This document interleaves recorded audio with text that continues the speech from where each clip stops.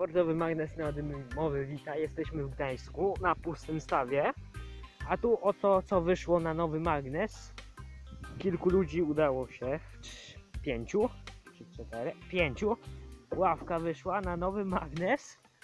Do 250 kg magnes. Udało się wyciągnąć ławkę po kilku godzinach prób. Prawdopodobnie łapka zatopiona przez wandali. Proszę zobaczyć jaka piękna. Taki nowy dzień. Yy, Film jest kręcony w sobotę wieczorem, to pojawi się w poniedziałek prawdopodobnie.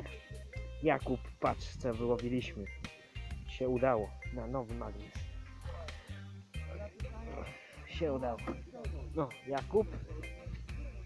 Ja, ja mam to szczęście normalnie do fantów. Trzymam się. Cześć, do widzenia. Cześć, pa, na razie. Z tej strony rzeczy historyczne.